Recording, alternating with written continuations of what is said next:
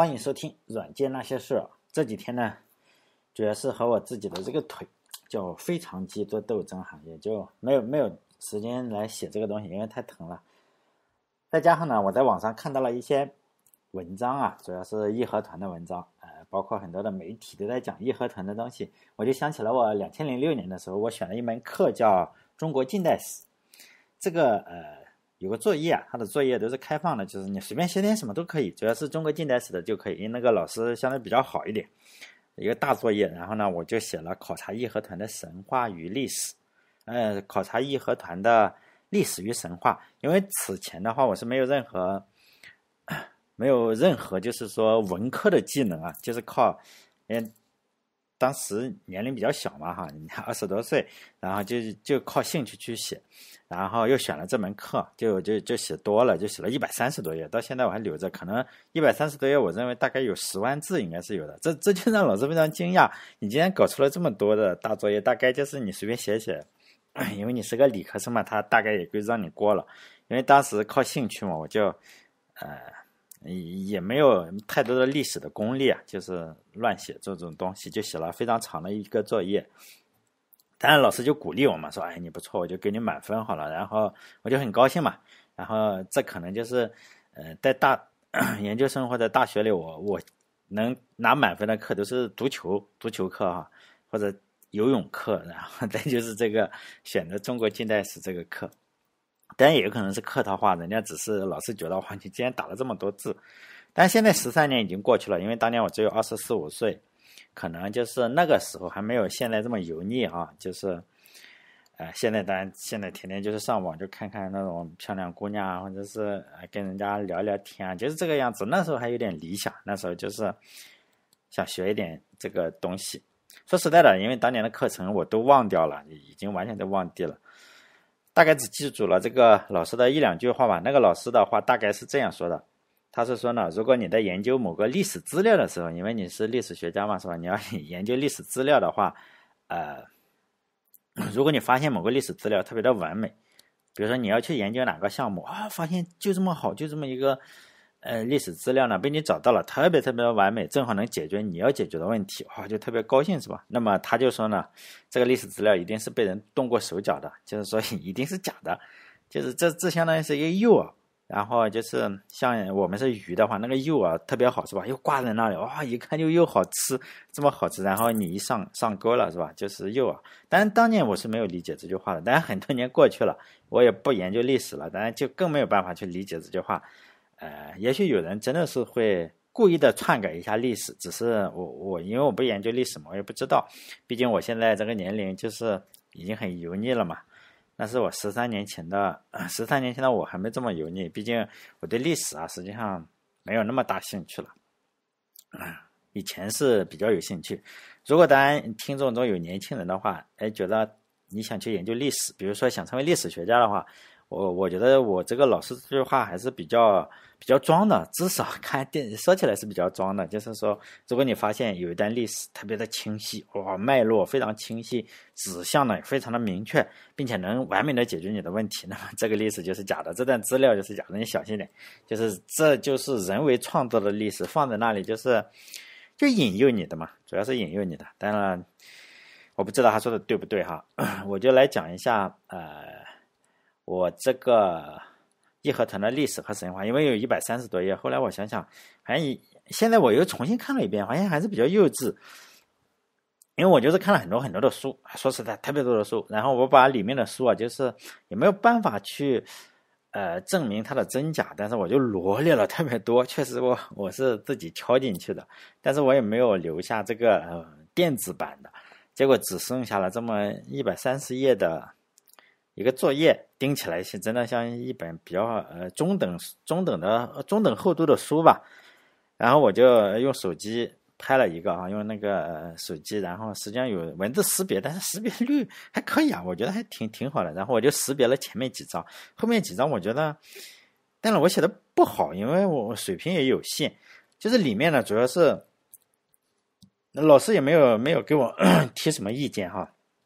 主要是还是不够好，里面确实就罗列了特别多的事实，别的书里的事实，然后我都抄到这里来，然后还有很多的呃，还有什么就是图片啊，也有很多的图片，就外国人拍的照片，我我填了一些照片，然后找到了，然后还有一些就是他的。叫揭帖，就是义和团的话，他他要贴大字报，然后那些大字报的内容，大概从这些东西中，然后推测一些什么东西，大概就这样。还有很多人物的访谈，应该是山东大学的，在一九四几年的时候啊，那那时候还没建国，想想啊，那那时候也有山东大学，就是一九三几年、一九四几年，山东大学是是有一一些教授，那时候已经存在了山东大学，他们就去做这个呃，当年参加这个义和团的人可能还没有去世嘛。或者他记忆之之中还是有的，一九三几年他他肯定没有去世嘛，他就去问这个样子，然后也有很多书，我我记我还记得，我当时借到了很多书，就厚厚的很很多本，然后但我没有全读过，因为很多的访谈一看就好像是一看就是假的，为什么呢？因为他就信神嘛，就说哎我们为什么就红会黄会，就特别多的神话故事在这里面。然后我也挑了几些，一些看了之后啊，就觉得很有意思了，然后就挑下来。当然，嗯，下面就是我写的呢，写的不够好，就先先开始写的是前言。因为义和团是在我们山东发生的嘛，呃，起源于山东吧，至少是作为一个呃出生在山东的人，就是生我其实是知道义和团的影响，不仅仅是书里的这个只言片语，对我来说呢，就是在。一八九八年到一九零零年这三年发生的事情，实际上已经 超出了书本，已经融入了故事之中啊。因为我小的时候就听爷爷讲故事哈，他是讲他的爷爷辈或者什么的讲故事，就只能听到他们他们的爷爷，就是我的祖上了，讲就是爷爷讲爷爷的故事嘛，总是听到一些非常非常不可思议的事情。因为我出生在是山东莱芜的一个农村，在清朝的时候，我这个呃莱芜啊是属于济南府。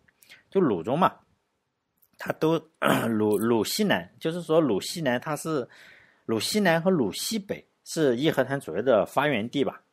就我小的时候，嗯，在农村，就男孩子就是玩具嘛，那时候也也没有电子玩具，但是有一些 就玩具就有一把刀，有有很多人家里都有刀。就生锈的那种大刀，就相传的，就是说，哎，我们村啊，或者是我的哪个祖上是练义和团的，然后他就有有把刀，就全尸嘛，当时是用过的。还有一些生锈的一些河叉，但我不知道这个怎么写河叉，反正是发音是这个样子，类似于什么？类似于杨家枪里的那个武器，但是呢，它是两，呃，杨家枪只有一一根嘛，但是它这个河叉是两根，两根过去，就是当年呢，他们也是说，哎，这是。练义和团的时候的一个武器，但我我不能确认这些武器的历史，因为它也不是什么珍贵的文物。但但是它肯定不是唱戏的这些道具，因为特别的重嘛。你道具的话肯定是要变得很轻。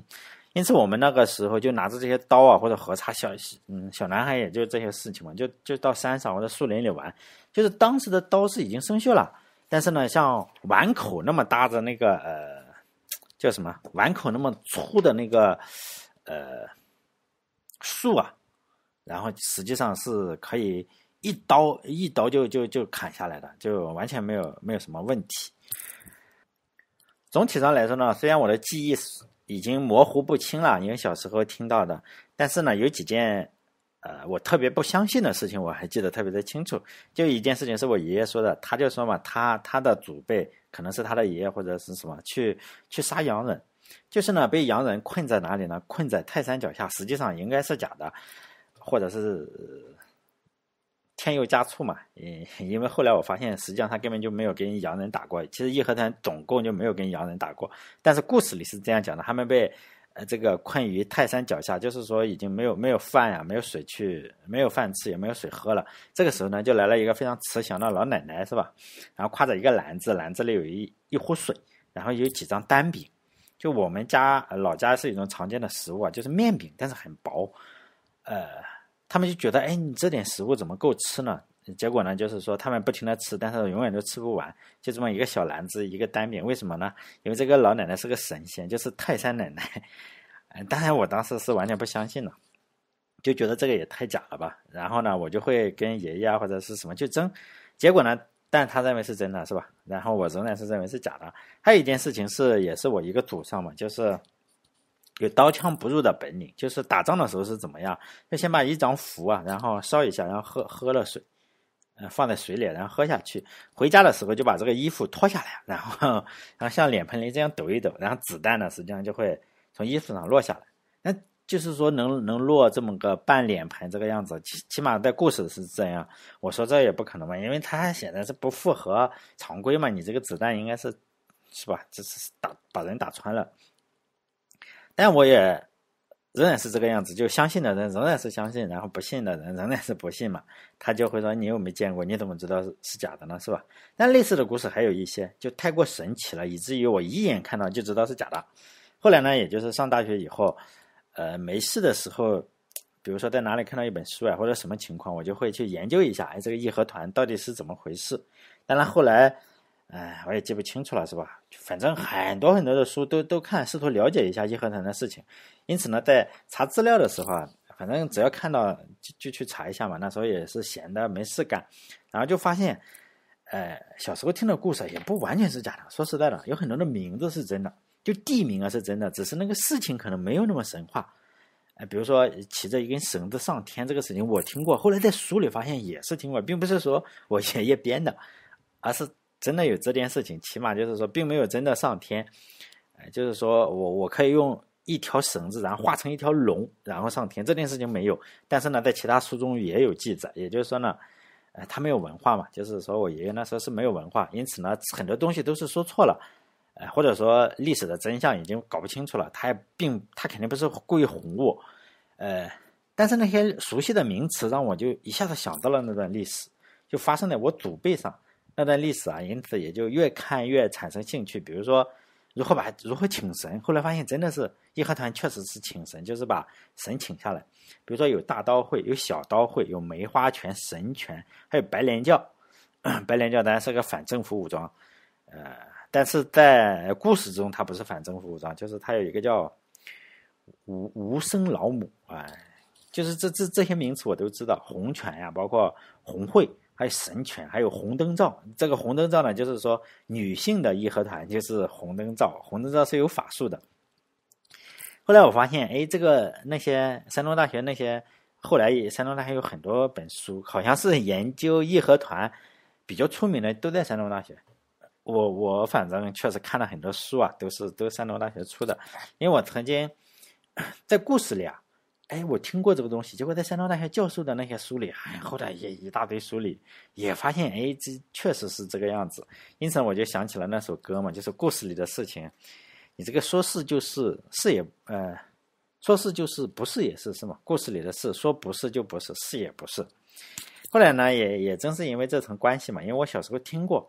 后来上了学校又去查过，后来看了书之后发现，哎，那个爷爷好像并不是完全骗我，因为我祖辈是河北来的，这个河北并不是说现在的河北省，而是黄河以北，黄河以北的聊城，就是我的祖辈，呃，是从聊城过来的，就是义和团那时候，有一年是发发水，发水之后呢，因为参加义和团，这个政府要追杀，然后呢，就就就流落到。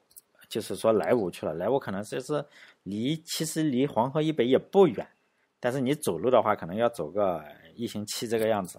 就具体的家史我已经搞不清楚了，只记得呃，确实有亲戚，就是我爷爷还在世的时候，就每隔两三年啊，就会有聊城的亲戚来看我爷爷，然后我爷爷呢也会去那边，但我从来没有去过，因为他试图带着我，我想想，哎呀，太太麻烦了，也也也不知道因为什么原因没去。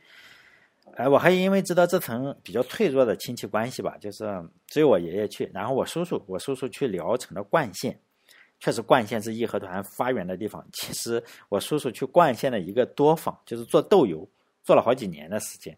然后我爷爷去世以后，这层非常非常脆弱的亲戚关系就彻底断了，就是没有了嘛，没有，现在已经不知道再去那边要联系谁了，已经没有了这段这个亲戚关系。最近几年。我说两千零六年的那个最近几年，就是我写写论文里就这样写的哈，所以老师说我写的太不专业，但是写的又那么多是吧？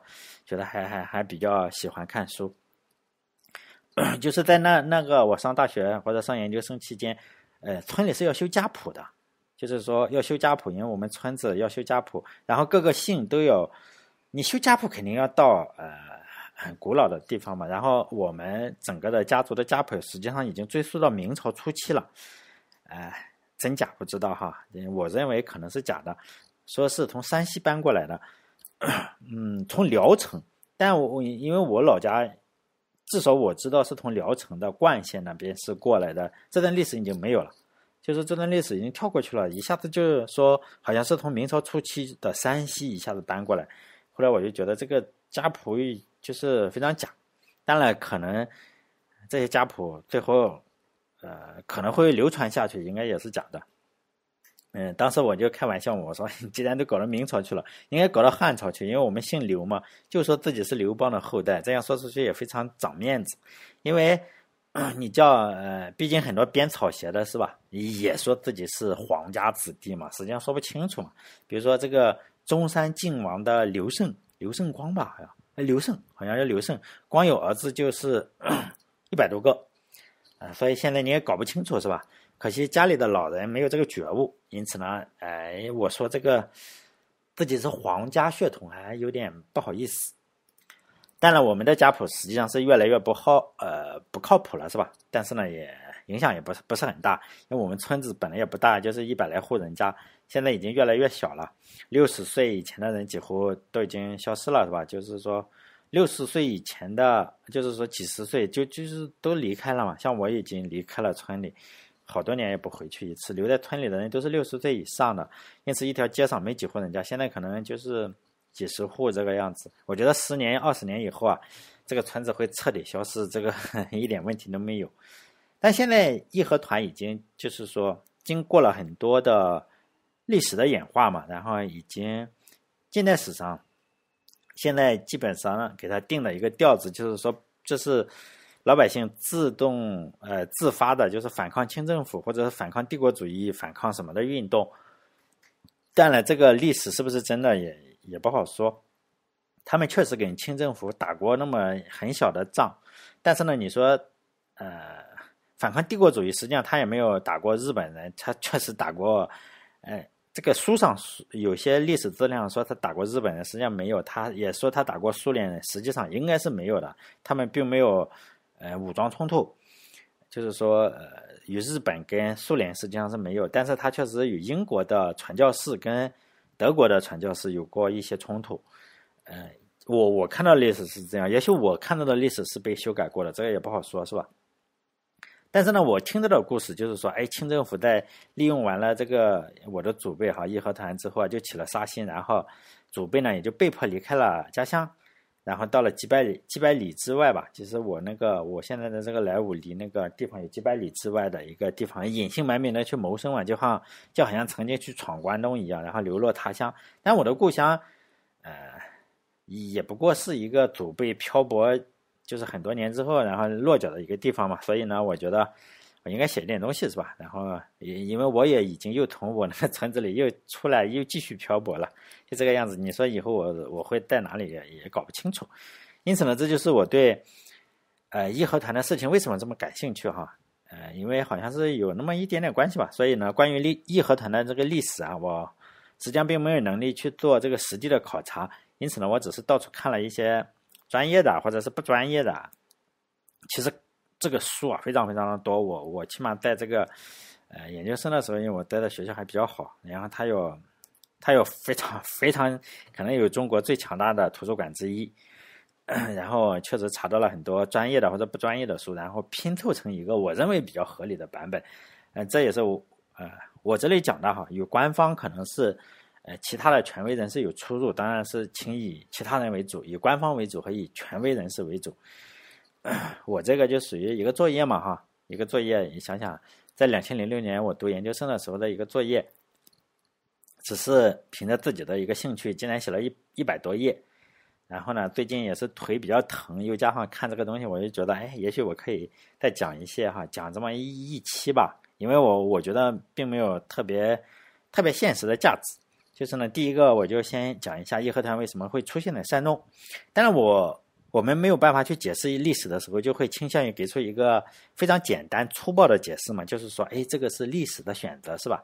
除了 比如说历史选择了山东，但除了这个解释，我试图寻找另外一点的证据。比如说山东实际上是非常大的，如果大家来过山东的话，山东也非常大，放在欧洲也是个大国。最主要的，呃，两个起源地呢，实际上并不是没有青岛啊，比如说那些东西。最主要的两个起源地是一个与河北交界，嗯，现在与河北交界，以前没有河北，以前哈，以前它不叫河北，就河河北是黄河以北，以前它叫。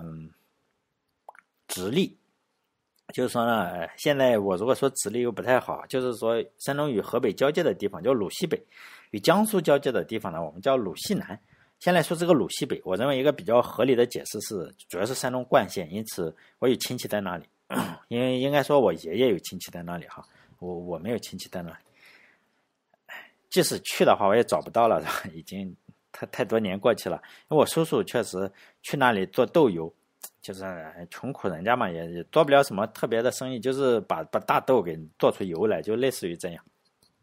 就山东冠县嘛，在当年是有一个比较绝佳的地理位置，为什么呢？它地理位置上它属于直隶，就是如今的河北哈，如今的河北、北京、天津啊这一些哈，就是说它属于直隶，但行政关系上呢，它属于山东。因此呢，冠县就成了一个飞地，就是什么呢？它。在直隶境内的山东的飞地，就直隶实际上是容易管，但是呢，它不是山东，你不能管我。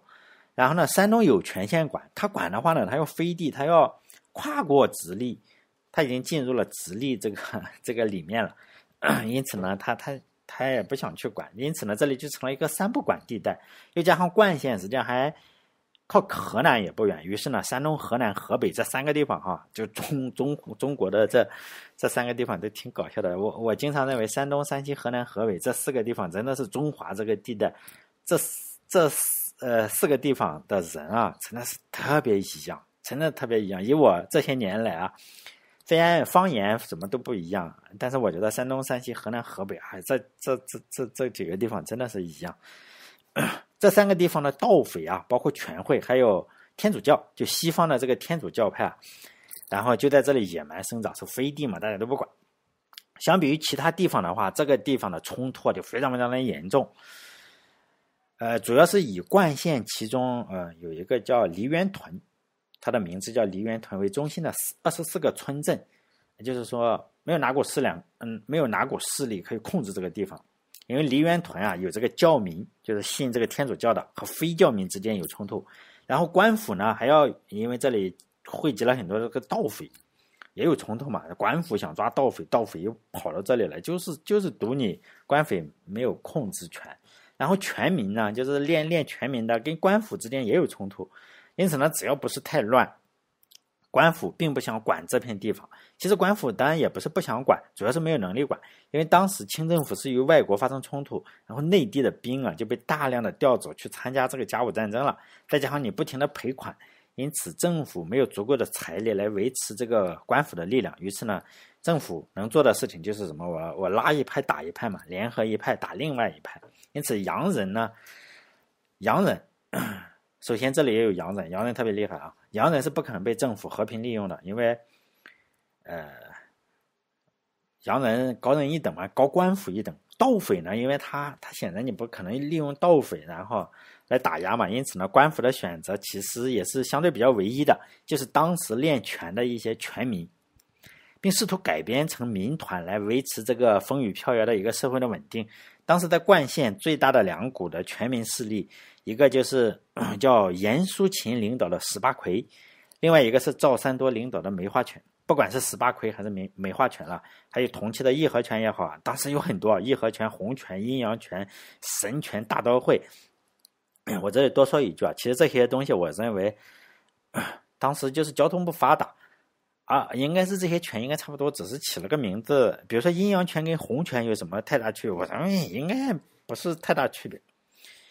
呃，应该就是名字有点不同，我我也是瞎猜的哈。包括义和拳，义和拳是一种拳法，并不是说，哎，我我 我是就是当时大家是练拳，参加这些团体的人呢，实际上并不是说，哎，吃饱了没事没事干的农民，而是一些有地主，有有有财产的一些地主，比如说你至少是有财产，像中农啊，或者是地主这个样的。为什么？因为当时兵荒马乱嘛，你兵荒马乱的话。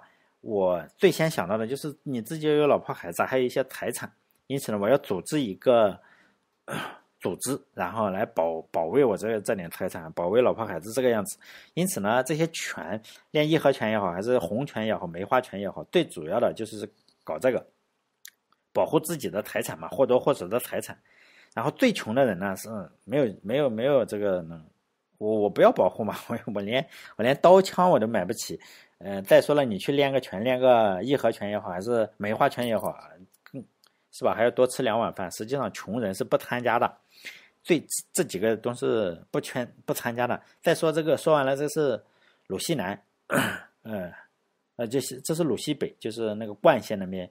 然后再说鲁西南，鲁西南就是跟江苏，江苏比较富啊，包括现在也是，江苏比山东富好几倍。当年应该也是这个样子，呃，就是。跟河南、山东交界的地方，就是跟江苏，然后就就那那边鲁鲁西南那片地方，在甲午战争的时候，清政府一我不前面说了嘛，就把这个地地方的兵啊都调走了。于是呢，就在与江苏交界的这片地方，因为它是鱼米之乡嘛，鱼米之乡，江苏会比较富，而且气候可能也比这个西北那边要好很多，鲁西北好很多。因此呢，那个地方干什么？就种鸦片。贩卖私盐，我们都知道这个江苏这个地方贩卖私盐是传统，贩卖私盐还有拦路抢劫，就是 就就干这些最佳的生意嘛。当然，为了保护自己的财产，那个地方是大刀会，就是与江苏交界的地方，也是山东江苏交界的地方是大刀会。那个创也 领领头人嘛，叫刘世瑞，他最初呢只是保护自己的财产，其实也是建立了一个类似于私人武装嘛，只要是。周边的地主呀，或者是财有一定财产的人交了一定保护费，刘世瑞呢就会，就是你既然交了保护费了，我帮你，帮你保护一下嘛。当时应该是个好生意，类似于现在的保安吧，类似于你给钱嘛。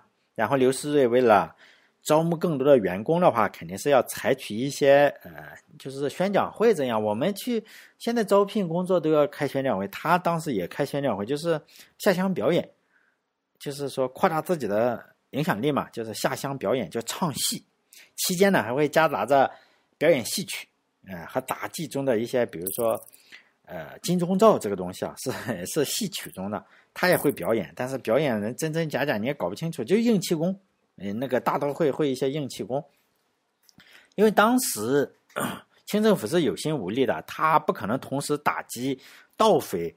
也不可能稳的，就是说他没有足够的力量，就是你一定要有特别高的力量，你才能一下子把人扑死。你如果扑不死，那就比较痛苦。因此呢，清政府那时候也没有兵嘛，都去参加甲午战争了，然后也没有办法，是吧？他不可能打击盗匪跟大都会这样来这样的东西，是吧？不可能同时，呃，没有那么大的兵力，只能分化他们。于是呢，政府就刚开始就拉了大刀会，就是说呢，你大刀会跟我这个政府合作，是吧？呃，把这个盗匪啊，你这个种鸦片的是吧？贩私盐的，尤其是贩私盐这种种鸦片的，给弄死，就这个样子。因此，大刀会确实与政府合作了，剿匪，就剿剿灭那些土匪。因此呢，在政府的背书之下，大刀会也就顺着做大了，因为它是政府的半官方机构了嘛。因此，大刀会也就顺势做大了。我认为，就是如果你有口饭吃的话，肯定你不会去做土匪嘛，这种就是脑袋挂在腰带上的行当。因此呢，当地的土匪也不可能说，哎，你大刀会要来杀我是吧？我我我肯定要找个靠山嘛，这个也是人之常情，不可能说你你来杀我，我把头放在这里是吧？不可能的，呃，不可能等着你把我全干掉。因此呢，他们也会找靠山。他找的靠山是什么？就是结果连清政府都不敢轻易惹的力量，就是洋人嘛，主要是洋人的传教士的洋人。因为在天主教会啊，主要是圣言教会是一个德国的教会，他在鲁西南是有比较大的影响力。只要是教民的话，政府不敢杀；只要是你，比如说你信了天主教，政府都不敢惹你。叫什么？就是如果大家，嗯，这是我再扩展一点。如果大家看那个茶馆，茶馆看过吗？就是老舍，哎，是老舍是吧？老舍写的茶馆，然后他，呃。它里面是吧比较厉害的一个人，就是信这个信教信天主教，你就比较厉害，政府不敢管你。他这里也是，我是盗贼嘛，我只要信了这个天主教，你你因为我这个天主教的圣言教会非常厉害，在这边就是扛把子，清政府不敢管我，因此呢，这个土匪为了保命，我就放下屠刀，马上立地成教民，是吧？听加入天主教，然后你你政府肯定要走嘛，我就拿起屠刀又去当土匪，就两不耽误。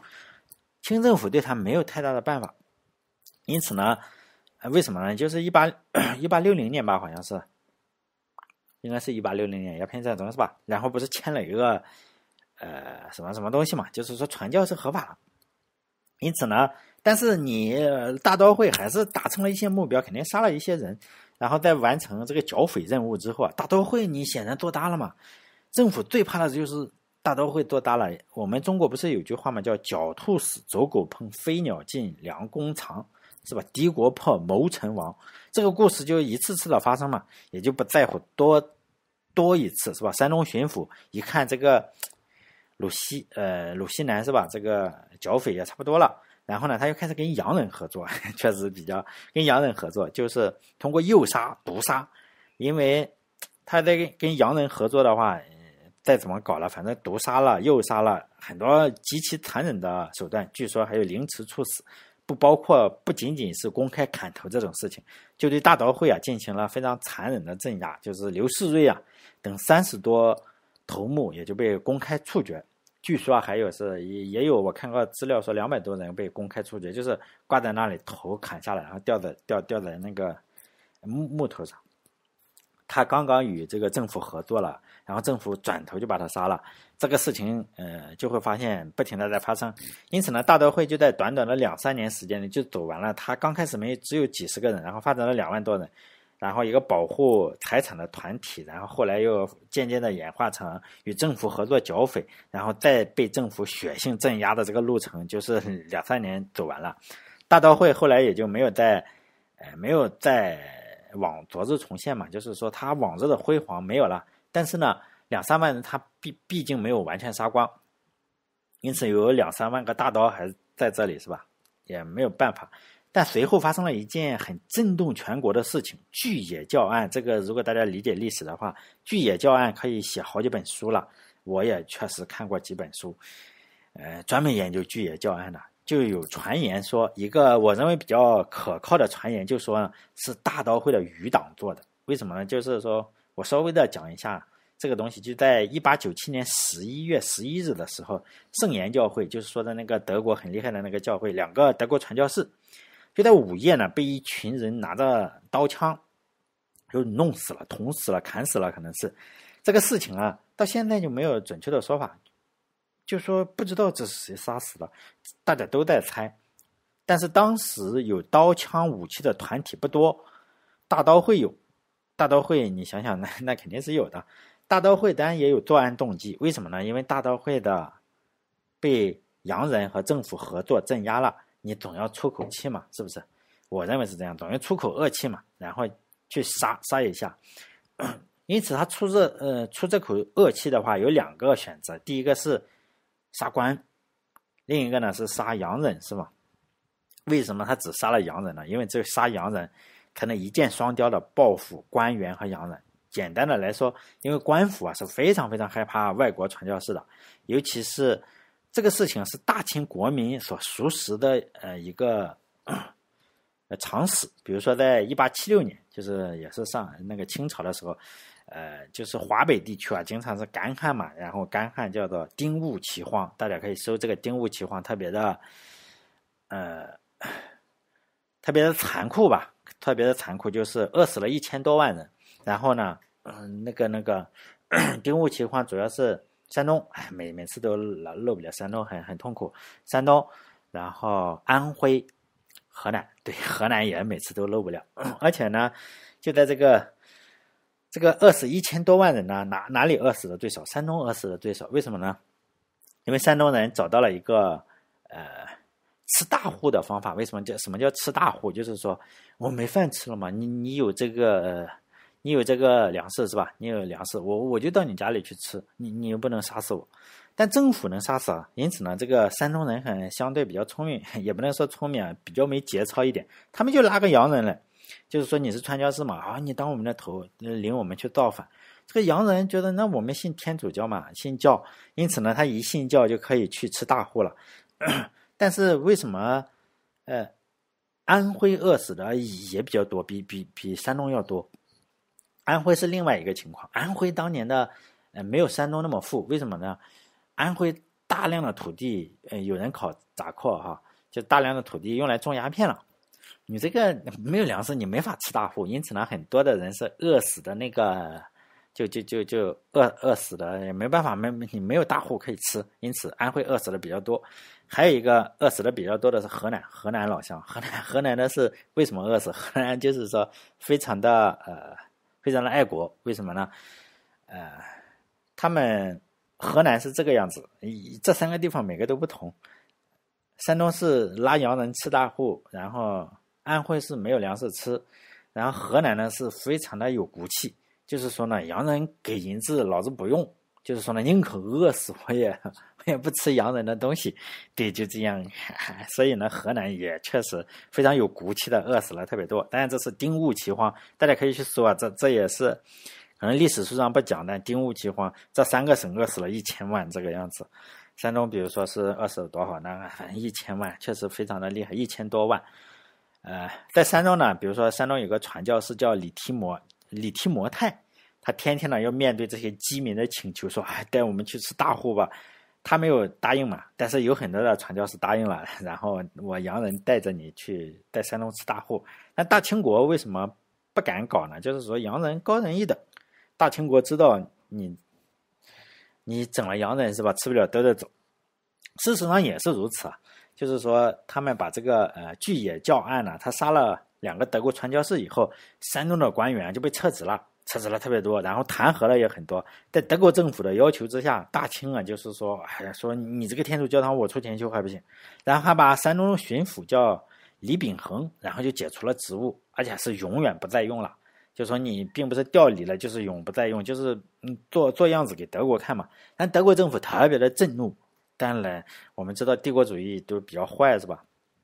不答应嘛，就说不行，你你在山东没法保证我这个传教士的安全，这么办吧？你这个把胶州湾割给我，山东半岛，就山东半岛的胶州湾就青岛那一块嘛。我们不是现在呃网络上有个段子，就说啊，我这个青岛的下水道是谁修的？德国人来修的，还有一个油布包，然后在方圆两米，这都假的，实际上应该是没有油布包，可能就就是瞎扯淡。但但是我们要 不得不承认的话。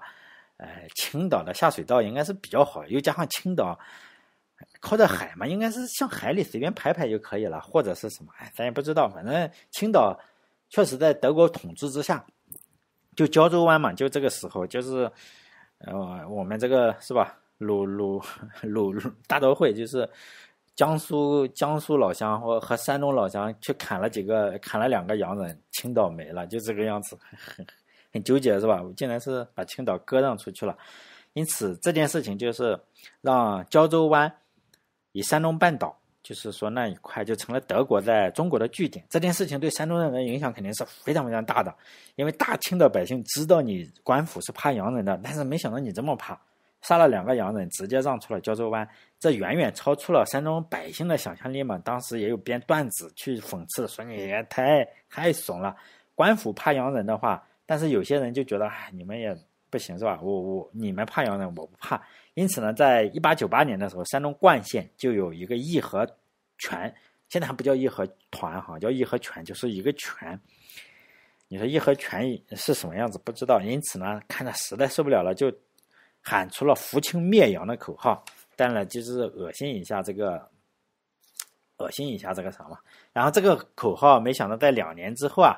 就波及了整个华北，也震动了中国吧，也震动了美国，也也震动了帝国主义，不是震动美国，因为贫穷并且非常非常混乱的这个山东西部啊，就是整个西部、中西部啊，都非常的，主要是穷，主要是山东确实很穷，然后还有发生在山东境内的这个巨野教案，官府出钱啊，也就是呃，清政府出钱在山东修天主教堂这件事情，然后还有第一块租借给。嗯，就胶州湾，实际上是大家学会了学德国，哎，发现你能切，我也能切，因此香港被切，这个被切，这个被切，是吧？日本切哪里？你就发现哎，被切没了。但这主要是与德国学的，是吧？所有的这一切都发生在山东，所以呢，我觉得义和团发生在山东，好像也也不是不能解释，是吧？我觉得巨野教案算是引发了一系列的这个雪崩事件吧，就好像是雪崩事件的第一片雪花，就是因为杀了两个德国传教士。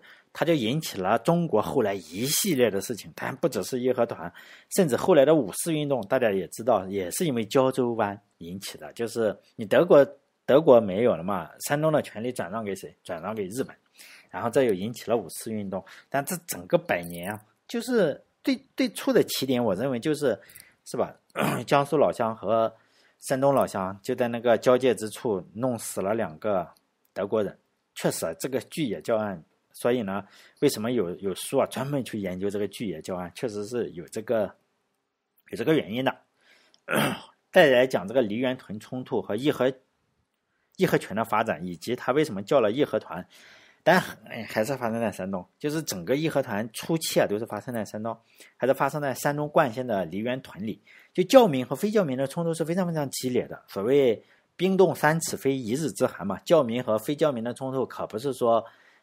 你你你能调解的，你不能调解是吧？因为在他们早就签了协议，就在一八六九年的时候就签了协议。政官府啊，不能叫政府，它叫官府，就签署了一项协议。就这项协议规定，你屯里啊，就这个梨园屯里面所有的寺庙，不管你是道教的也好，还是佛教的也好，都归谁有？归谁所有呢？归天主教所有。而当时的中国人信仰天主教的时间并不多。后来说啊，哈，大概中国有四十万到一百四十万之间，也不知道真假是吧？四十万到一百四十万之间，嗯，也比较多，但是比起中国人来还是不多。因为在中国人来说，信仰天主教的不多，但是呢，大部分人是信仰什么？信仰玉皇大帝啊，还是信仰观音菩萨？反正不是天主教的耶稣就是了。所以呢，牵扯到信仰的话，官府就有规定嘛，就说你这个。不管道就道观也好，还是佛寺庙也好，通通给给人家，就是大清百姓也不管。哎，因为我大清也是有信仰嘛，大清的百姓，你去拜观音菩萨，还是去烧纸给这个观音菩萨，还有玉皇大帝，最主要的是玉皇大帝，他们 这个发生冲突的这个教民冲突的是一个玉皇大帝的庙，直到就是说教民，因为他说你已经给了我们嘛，是签了合同了。正官府签的合同是一八六九年签的合同，这个玉皇大帝的庙啊，我要拆了，我拆了，我要建一个什么天主教堂，他拆很快嘛，可能也那个庙也不是很很很容易就拆了，推土机一推就就没了嘛。即使没有当时没有推土机，我认为很快也就拆了。拆了，这这个这简直是个大事情。我我这个玉皇大帝，道教中最高的这个皇呃，不能叫皇帝，玉皇大帝是皇帝吧？反正是是个是个是个重要人物，玉皇大帝的。庙被拆了，嗯，然后大清的百姓就去阻挠，说你不能修教堂，然后并且请去了，呃，当时冠县啊最大的两个团体，就练拳的团体，一个是梅花拳，一个是十八魁，去炫耀武力嘛。显然练梅花拳的，呃，不信仰这个耶稣是吧？还是信仰的是这个呃玉皇大帝比较多一点。然后梅花拳的赵三多啊，因此就在那里举行了一个什么亮亮拳的活动，举行了三天。就有了这么大的后台，就是说你打肯定打不过我了，是吧？我这个有两个最大的团体帮我撑腰，因此呢，大清啊，大清的这些百姓又把这个教民啊，教民不是在修这个教堂吗？我又把你教堂给推了，就这个样子，又把教民打了一顿。你显然打架的话，这个上帝没没出现，没帮你，应该是被打了一顿，这个教堂还被推翻了。但是呢，官府实际上是没有办法主持正义的，只能当和事佬嘛。就重新签了一份协议，说：“哎呀，你既然都打成这个样子了，就是说一人让一步嘛。这个寺庙啊，寺庙没有建教堂的，你你还是就就还给人家吧，还给大清。然后你已经改建了的，就是说你天主教堂十字架就搞起来了，你就你就天主教堂，就是说别争了，是吧？就这种和稀泥嘛，跟跟这个什么是一样和稀泥。这个协议看起来实际上是偏袒于大清百姓这一方嘛。”因为本来签的协议是所有的寺庙都归都归天主教嘛，显然这样的话，人家一闹，哎，一闹，给推了之后，还有还有这个利益拿，因此，哎，大清百姓感觉还比较好。但是教会显然不这么想，因为你已经签了嘛，我这个天主教堂也建不起来了，是吧？然后教会也闹，还是那句话嘛，谁最怕洋人？大清最怕洋人。洋人这么一闹，官府马上就怂了，马上就这个寺庙又 又又回到了教民手中，而且大清还要派了为数不多的人，就是说要监工，就是你大清来，我们弄死你，就是士兵啊围着说让让让人家洋人建教堂，就这个样子。这些事情实际上是加重了大清百姓对教民和洋人的愤怒，但是他也不敢杀官府，官官府真杀他，他只能就是说恶心一下洋人和和教民，因为官府。官府对洋人的不满也有不满，因为你天天搞我这样，我肯定是吧？我脑海面子上也过不去。因为无论怎么割地也好，怎么赔钱也好，洋人你总是不满足嘛。然后官府可能就是说，又打算跟那个呃江苏打劫的那个地方，就是鲁西南那边地方，就是说，哎，跟大刀会一样，是不是？我先利用一下你，是吧？再再再。打压一下洋人，就是说呢，于是呢，官府就开始接触梅花拳的赵三多。赵三多啊，跟嗯大刀会那边不是也是帮了官府，然后又把大刀会的这个刘世瑞跟三十多人或者两百多人就砍头了嘛。赵三多这边可能那时候没有微信啊，也没有没有什么 这个新闻传播也比较少，一看官府来了，那也没办法是吧？我还是跟你合作。相似之处就在于赵三多。也跟官府合作了，这边的梅花拳，就是他们跟刘世瑞是赵三多跟刘世瑞差不多的，就是说刘世瑞的大刀会啊，组织性还是非常高的，是以他为首领。赵三多呢，因为他这边有很多的权，不不止他，主要是梅花权，他还有联合了洪权呀、十八魁，还有很多的，还有猴权，各个各个拳法。一系列松散的组织，因此基于了一个理念，就是说呢，我们要帮政府，帮清政府打压一下这个洋人，就这么一个松散的理念啊，就是我们改名吧，义和拳就改成了义和拳，呃，也是一种拳法，但它它现在还没有发展到义和团，这是两种不同的组织形式，它跟大刀会是两种不同的组织形式，大刀会是以刘世瑞为首的。这里呢，义和拳虽然也是以赵三多为首的，但是呢，是基于理念弄起来的。就是说，他联合了很多的组织，好像美利坚合众国每个州，哎，我是加盟的，只是名义上叫义和拳。但官府呢，利用完以后也会怎么样？就杀嘛，要要把义和拳全给杀掉。实际上，他也确实得逞了，因为你政府毕竟是这个这个是吧？官方的部队，你跟这个老百姓打，肯定是一个打杀，这肯定是没问题的。因此呢，义和拳的首领这个赵三，嗯，赵三多呀，跟这个东西也是先是被抓，被抓到监狱里，然后呃也是公开处决了，就在济南这个牢狱里啊，就是公开处决了。因此呢，这个义和拳本来如果按大刀会那个样子，刘世瑞被砍头了嘛，大刀会就垮了。但是呢，义和拳有点不同，因为它是基于理念的嘛。其实这个赵三多死了，也是被清政府弄死的，但是基于理念嘛，因此呢，竟然出现了更多的义和拳。就是只是名字叫一样，因为我以前有可能叫红拳，叫十八魁，叫猴拳，就这个样子。但是现在只是叫义和拳，名字跟口号是一样。因此呢，官府一看还比较痛苦，是真的是比较痛苦。就是名字一样，没有首领，就是说这是一个没有首领的组织。义和拳长期就是有一段时间是没有任何的首领。其实整个的义和义和团。后来也是没有首领，就现在还没有发展到义和团啊。就义和拳的时候，赵三多实际上是在一八九八年，他一旦是组织了这个呃，联合了十八魁还是梅花拳，然后组织了之后啊，他就逃到了河北中部，后来被被抓抓到了，抓到了就是拉到济南府，拉到济南府就是公开处决了。最后也有人说在狱中死去了。不管怎么样，他确实没有任何的。没有任何的施展，就是成立了一下义和拳。但是新的义和拳，他死了之后啊，新的义和拳还有神拳纷纷的就成立了，如雨后春笋般，真的是雨后春笋吧，就在山山东西部的各个地方都出现了，而且用的口号都是他的扶清灭洋，这也是他们的共同点。但这些新义和拳，就是后来组织的这个新义和拳，就相对比较更加注重什么封建迷信，也就更加的具有宗教色彩。比如说刀枪不入呀，或者是请神下凡，这是后来搞的。一时间呢，这个义和拳就有点像开连锁店了，然后就从山西西部啊，山东山东西部向周边蔓延，蔓延速度之快就非常让人惊讶。很快的话，在呃，我看书上讲，一八九八年底的时候，这新义和犬就开到了日照。就你想想，日照就沿海边了，就已经就是好像是也不知道怎么，那时候也没有电话是吧？很快就开到了那里。年底的时候就开到了日照、济宁这所有的都有了。不同的是，这些义和团、这些义和拳吧，还不叫义和团啊，有不同的首领，请的神也不同。他每个每个地方都是请就本地化了，就是已经本地化，可能在在在。在日照那边就请日照什么神是吧？可能在哪里请什么神，济宁请什么神，然后在山东这边请什么神就不同，就是本地化了。唯一相同的话就是对教民的仇恨，他们是相同的。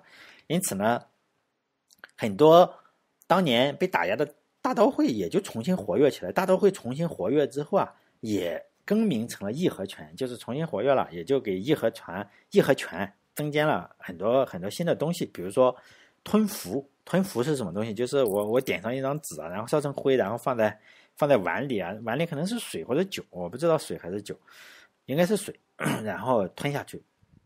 当大清这个百姓啊，就是说，显然就是说，哎，以以什么为敌啊，并不是以清政府为敌，而是以洋人和传教士为敌。这这一旦是为敌以后啊，这个德国政府，因为当时圣言教会就主要是德国政府，因为德国又在山东又割了这个胶州湾。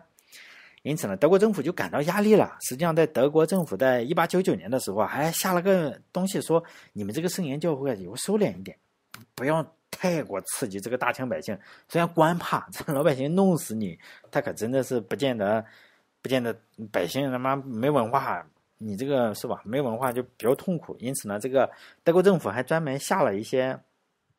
呃，命令或者是什么东西吧，给这些圣言教会，我看书上是这样写的，说收敛一点，不要举行这个，不要举行那个。确实，他们收敛了很多。因此呢，除了这个大刀会、梅花拳、义和拳，当时还有另外一个在山东非常非常有影响力的拳叫神拳。当然后来我们看到历史上也叫神拳，也叫义和拳，也叫义和团。实际上这是刚开始是三个。不只是三个，都是不同的。这个神权就是另外一个事情，神权和义和拳最后就分不清楚了，最后合并了。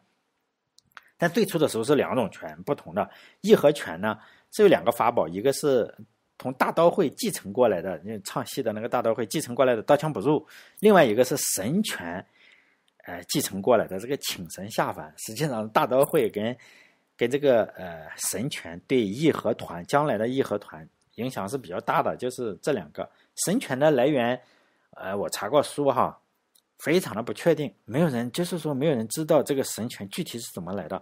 唯一能确定的是，神权和大刀会梅花拳是不同的，是不同的一点，就是说人家大刀会也好，还是梅花拳也好，还是刚开始的义和拳，就是旧义和拳也好，是保护自己的财产，就建立的这个民间组织，但是神权不是。神权呢是来自于赤贫的阶层。神权是什么？就是神权最初是治病的，就是你治皮肤病。他的这个朱红灯是什么？这是一个赤脚，不能叫赤脚医生，叫神医，就行走于 民间的神医。他擅长于治疗各种病，可能就是中草药这个样子啊。现在也很难说了。神权最主要的是治病，他是靠着这个。你治病的话，因为中国那个时候就无医不分，包括现在也不是无医不分嘛。现在你去看一下，还是无医不分，也搞不清楚。你他也治病，也也有巫术，反正也请大神嘛。就是说，这个人确实可能比较厉害，他确实能治疗。呃，书上是说啊，他善于擅长治疗皮肤病，就是外科吧，哈，皮肤病可能有一些狗皮膏药或者类似于这样。这我也是我瞎猜的。这个人是个医生，他不收钱。是赤贫阶层，而且就是是吧？中国的无一不分。然后呢，最大的特点就是说，他一定要向东南的方向磕个头，孔雀东南飞哈，向东南的方向磕个头，然后念咒。念完咒之后啊，把这个符咒放在水里，然后搅拌之后喝下去，这也是一种药哈。这是这个符咒是一种药。在这种这种仪式啊，仍然在山东农村地区还是存在。尤其是那些老人，还是相信这个，就是说我我我烧纸什么的，或者是请龙王，这才我我见过这个东西，到现在还是存在这个东西。就神权刚开始的时候没有交集的，因为两个阶层是不同的。神权刚开始的时候是次品阶层，就我治病的神权刚开始是治病，强身健体；义和拳是什么保家，主要是保护自己的财产，就这个样子。呃，还是没有交集。但是为什么它发生了巨变，与这个义和拳融合在一起嘛？这个也很难考证，呃，就很难考证了。就是说找不到为什么他们突然发生了变化。但是有一个相对比较靠谱的说法是，一八九八年跟一八九九年之间，黄河发生了决口。我们都知道，当年是黄河非常非常容易决口，而且那次决口的水啊，水流非常大，而且还不是决了一个，呃，决了三个，分别在今天聊城，聊城今天的聊城市叫寿张镇东阿县，这是两个两个口子，还有一个济南也决了。这下好了，这个水一冲，你就有财产的人，以前你你还是吧，你还你你的这个义和拳也好，还是梅花拳也好。你保护自己的财产，吃老天爷一冲，是吧？黄河爷一冲，是吧？你这个就没财产可以保护了嘛？然后你只能没有了，没没有财产了。然后呢，你就数百万人，然后怎么办？你就遭受水灾了，你赶紧跑嘛，背井离乡，然后外出避难。呃，据说哈，据据我的考证，我我我们那个就是我的老家，就是从那个。灌县啊，移到这里来的时候，就应该是这个这个时期，应该是差不多。当然，我也很难考证出来。就是让这时候你这个神权，我们可以知道神权是什么治病属性的话，因此很多难民也就相信了神权。那时候虽然你也没有财产了，是吧？因此呢，官府最初他也是把神权跟义和拳还有梅花拳这些，后面义和拳也好，还是梅花拳也好，是游走在违法。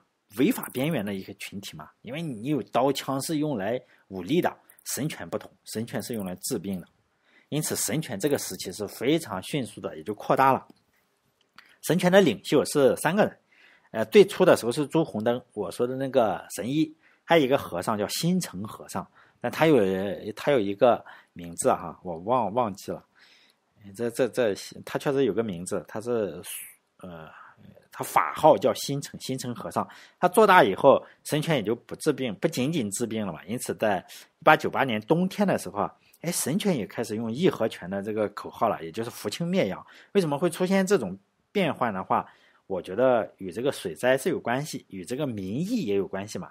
因为当时德国在山东的势力也确实比较比较呃比较大。然后天主教，你信这个教的也确实在中国不止高人一等，不止高中国人一等，还高这个清政府的官员一等。因此呢，鲁呃，比如说鲁鲁西南的这个大刀会，还是鲁西北的这个义和拳，都是反对洋人的。这种变化就是神权突然出现这种转变，好像也可以解释哈，也并不是说不可思议。由于这个神权就更厉害了，神权 更松散，比这个义和拳还要松散。我们都知道，这个前面我讲了，大刀会相对就是集中的，你杀个头完蛋了，呃，就就是瓦解了，抓头了嘛。然后义和拳实际上，呃，相对比较的松散一点，因为是呃呃美利坚合众国嘛，美都加盟的，加盟加盟义和拳，加盟店。但是这个神拳就更厉害了，神拳就是贫农，这这个就是说治病为主的，这个就是说更不行了。就是更更没有没有组织，就是这种转转变之后啊，因此松散啊，而且他请的神就更混乱。以我查到的资料，请神真的是五花八门，有有请道教的，也有请这个佛教的，也有请这种关羽。关羽，你你想想，关羽也也能请下来，但是呢，并没有证据证明，就是说神权于当时山东另外一个与官府作对的白莲教。白莲教实际上是一贯与官府作对，就是说。白莲教的最高的、最高的神是无生老母，天山童姥哈，他叫无生老母。就义和拳、义和团、义和拳吧，自始至终啊，他也没有像白莲教那个样子以推翻政府为己任。实际上，神权还是比较温柔的，呃，治病啊，包括，但最后他确实合并起来了。但朱红灯所带领的神权呢，也就举起了这个扶清灭洋的旗帜之后啊。一下子那么多穷人，哇！这个穷人跟稍微有点财产的人也就结合起来了，因为以前都是稍微有点财产的，后来穷人也加入了。最先引起注意的就是传教士，传教士 仍然是叫故技重施，就是说你向清政府施压，所以不行了。你看神权又又又弄我们是吧？你这个和往常一样，清政府怎么样？就听洋人的嘛，出出兵嘛，然后就对神权进行了清剿，就是剿匪。当然了，和对待这个大刀会义和拳是一模一样的。清政府也很快的就把神权的这个首领给抓住了。有三个首领，一个是朱红灯，还有新城和尚，还有叫于清水，这三个人被抓住了。当然后来还是抓了四十多个，书上说四十多个，反正首领都抓了。抓不完，问题是这个抓不完。然后呢，他们把这个朱红灯、新城和尚还有清于清水，有在济南啊公开处决，处决了三天。然后证明什么？证明说你这个刀枪不入是不可能的，看我一下把你头砍下来。证明刀枪不入是不可能的，但是呢，这个打压并没有像预期一样，你当年是没有电视的，我也没有这个马上把舆论给你推送给全体老百姓，没有办法。可能当时人看到的人就觉得是你刀枪不入，但是有没有人有有的人是没有看到的，而且神权是广泛的采用了请神这个东西，请请各种各样的神，因此神权就在。但是在某些地方，可能比如说见过的人发现，哦，这个这个不能不能够刀枪不入，可能就收敛了。但总体上来说，没有。山东巡抚并没有达到他想要的结果。由于神权更加依赖于封建迷信，所以呢，朱红灯、新城和尚和于清水被杀以后成神了，这就比较痛苦，跟那个耶稣一样，我三天后复活了。而且朱红灯、新城和尚、于清水被砍头后复活了，还上天了，这就这个就崩溃了，跟这个耶稣。这简直就是，跟这个呃天主教一样了，是吧？他这个反而更加完美了，因此他们的故事就被更加广泛的流传。因此很多的地区啊就会说，哎，他们砍头后又复活了，这真是神仙，是吧？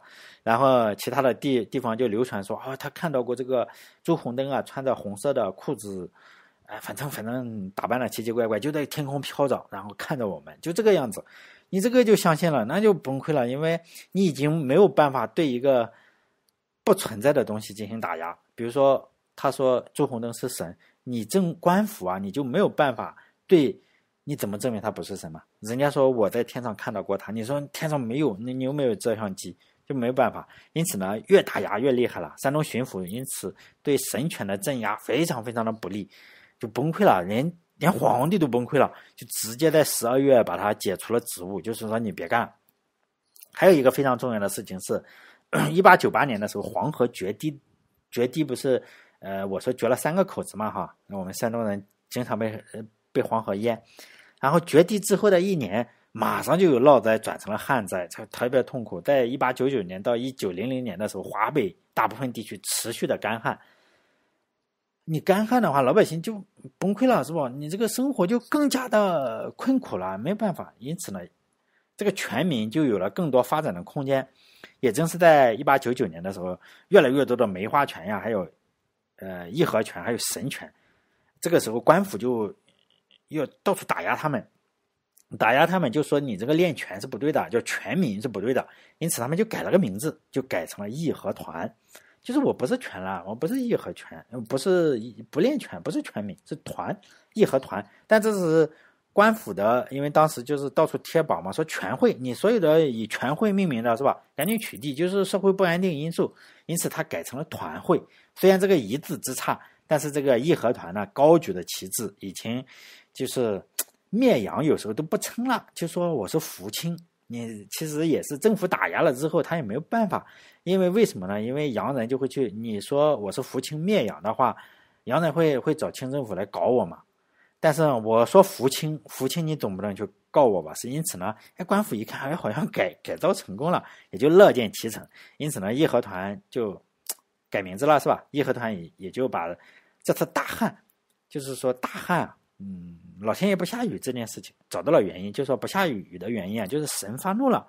为什么神发怒呢？神发怒的原因是天主教在中国泛滥，因此呢，当时义和团就就就贴这些揭帖，就是揭帖，就是农民起义的时候不都是向农民宣传嘛？我们看电视也看到过，就在城墙上嘛贴个纸是吧？大字报一样，然后你在这上面念，就这个揭帖，大概是这种样子。咱咱也没见过真的，类似于大字报或者传单。我认为应该是大字报，就在这里，在揭帖之中都是顺口溜。我们可以看到，这个义和团找到的大汉，呃的证据就是洋人来了，然后 还有对洋人的一些仇恨。我们我我可以我我这个当年啊，当年我写这篇作业的时候，不能叫论文哈，我抄了特别多，因为 顺口溜特别顺，特别的好，然后抄了好几页。那个但老师也没有看，他觉得你 这人挺搞的，因为我觉得这个顺口溜特别的好啊，我我在在作业上抄了特别多。就是我随便这里选选两两首好了，就是它叫“知音天主耶稣教欺神灭圣忘却人伦怒恼天地收住之语”，这这就有点不顺，它就像收住之语，可能农民或者是我是农民 看不懂收住之语。哎，降下八百万神兵扫平洋人，才有下雨之气。他就说嘛，你你现在已经有八百万神兵了，这八百万神兵是谁？就是我们这个义和团。然后我只有杀掉了洋人，天上才下雨。还有就是杀了洋鬼子，蒙雨往下流。但是这个也很长，我就选两句哈。还有一个是洋人杀尽，欲雨还雨，欲晴还欲晴叫晴。就是你洋人只要杀尽了，你这个想下雨就下雨，想想晴天就晴天，就类似于这种顺口溜特别多。呃，我当时当时啊。我认为当时大部分人是相信的。如果你不相信的话，比如说你取笑他的话，大家就不会有这样的宣传。因此，在当时的情况来看，还是有很多人相信这个洋人啊与这个干旱是有非常非常直接的关系。我前面不是说了吗？这个巡抚对神权镇压不利，已经你镇压了几下，哇天呐，这个成朱红灯、新城和尚还有这个于清水被砍了，结果成神了，你这个山东巡抚就被就被那个什么了嘛，就被 撤职了。撤职之后，你肯定还要来一个人嘛？就结果清政府来的是谁？袁世凯。袁世凯这个人呢，对义和团是非常非常的反对。他是属于新式人物，他带领的兵啊，都是训练有素的新式部队，就警察嘛，天津训练出来的，特别厉害哈。比义和团肯定是强太多了。他到任以后，很快就控制住了义和团。先先先搞搞是吧？义和团实际上他也杀了一些人。这个义和团实际上就就，但还是没有办法呃完全控制住。但是呢，他他也没有对义和团大开杀戒，就是先稳住。但一嗯，我们知道袁世凯这个手段确实比较多，因此呢，他上任之后，他并没有呃，他上任之后还是发生了一两起杀这个洋人事件，还是杀害了一个英国的传教士，是一八九九年十二月三十三十一日杀害了一个英国传教士。这件事情。没有那么影响那么大，但是也比较大。袁世凯来了山东以后啊，因此山东义和团的发展也就没有那么蓬勃发展了，不像是前段时间那么蓬勃发展。确实，袁世凯确实有手段，但是呢，义和团已经有了大量的团员，我们知道有这个是吧？神权啊什么已经集合起来了。这些人不可能说，哎，你袁大头一来我就不发展了。于是呢，这些人就开始向其他地方发展嘛。我都挨着向哪里发展？就是向直隶发展。为什么向直隶发展？等会我讲一下啊。直隶是有两个超级大的城市，一个是天津，一个是北京。当然现在也是哈，中国最厉害的两个城市是吧？一个天津，一个北京。这两个地方显然都比山东是有前途的。你我们可以用用屁股想想就知道，那首都嘛，一个首都，一个实际在清朝的时候，北京还不如天津好。天津唱戏是吧？我们慈禧老佛爷。还要去天津听戏，北京没有。这两个地方显然是更有前途的。在清朝就有一种说法，就是说直隶是各省的领袖，就是领袖都是直隶的哈。清朝直隶就是非常非常巨大，呃，可能现在没有直隶了，就是直隶多大呢？就是天北京市、天津市、现在河北市以及河南、山东。部分地区要要切进去，整个河北全在，整个天津、整个北京都在直隶，因此它地理位置肯定是非常重要。因为什么？因为皇宫嘛，皇宫在那个地方，呃，所以清朝政府特别特别重视这一点。当然，也就在这个各个封疆大吏啊心目中也就格外看重。因此呢，除了直隶和这个幅员辽阔，就据说啊，嗯，当时幅员辽阔的四川啊，就是设一个总督，直隶设一个总督，其他的比如说叫两广总督，是不是？就这样，两三个省啊建一个总督不会特别多，只有直隶特殊，因此清政府是非常非常看重那个地方，所以呢，用人也不太可能用汉人，因此呢，还大部分都是用满蒙贵族，就是说这个直隶省的省长，不能叫省长，叫总督，哎，就是省委书记吧，基本上是用满蒙贵族，就是说看血统，他这个时候用的是玉露，是一个满满人，政治立场，但是我们不用讲，他后来在天津的时候自杀了，政治立场一点问题没有，但是业务水平实在是不行。他不像袁世凯，袁世凯说镇压就能镇压下去，这个玉露不行，镇压他也镇压不下去，而且态度还不坚定，他反反复复搞，就是他唯一的就是说。就是政治政治没问题，业务不行，就这个样子。因此呢，山东发展起来的义和团 重心呢，就就到这个这个省里去，就欺负这个玉露有点像哈，就就是说直接发展到直隶去了。结果直隶这个玉露想镇压，他也没有这个呃，想镇压就没有手段。想纵容呢，又没有那个安徽、还安徽那边的总督的手段，哎，反正就很崩溃，里外不是人，就搞了这个。最后他自杀了，嗯，好像是拿拿一把小手枪，然后打的心脏，哎，据说是这个样子。因此，他在山，呃，整个义和团在山东，呃，发展起来就就这样，一直发展到从那个鲁鲁西北，还有鲁 鲁。叫鲁西南和鲁西北，然后发展发展到鲁中，然后后来发展到日照，发展到海边，都都济宁这一边。然后呢，袁世凯来了，好，然后开始向其他的省份转移。当然，我我这篇论文实在太多，有一百三十多页，可能有十万字。但是后来今天就这两天嘛，这两天我读了一下，好像也没有任何，好像没没什么意思。因此呢，我就讲一下它最初发展哈，呃，像。直隶之后的发展，就是说，但确实我抄我写了实在太多了。后来发现，反正就抄人家的书也没什么意思，唉，因为初期就这样了，在山东的发展实际上就已经结束了。袁世凯一来就结束了，然后后来就去河北，河北老乡，还去天津，然后去了北京发展了。这个义和团在山东就这样结束了。好，这一期就到这里，哎，随便讲点什么东西哈。好了，欢迎大家关注我的微信公众号，叫“软件那些事”，六个字哈，“软件那些事”。但这一期与与那个呃软件确实没有任何关系，呃呃，再加上我的腿实在太疼，我也不想去研究太多东西。好了，这一期就录到这里，再见。